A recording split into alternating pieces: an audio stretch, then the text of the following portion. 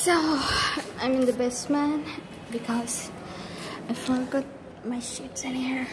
I'll have to take those. And we got our leadership class in here. Oh my gosh, this place is so horrible. Why this is like